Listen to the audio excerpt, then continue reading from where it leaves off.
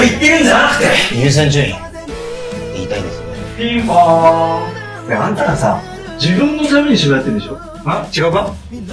誰か一人でもさファンのために芝居したいって思って俳優始めたやついんのかよ。ファンのために俳優になろうと思ったやついんのかよ。いねえだろ！嘘つくなよ。まずは自分だよ。自分自分たち。そっからでしょ。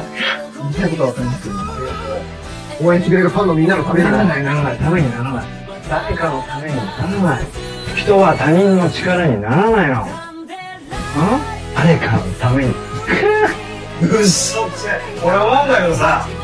本当に自分を助けられるのは自分だけなんだあんたらがさ一生懸命劇場でこうお芝居してそれが誰かのためになるなんて。無理無理。そうですかね。そうですよ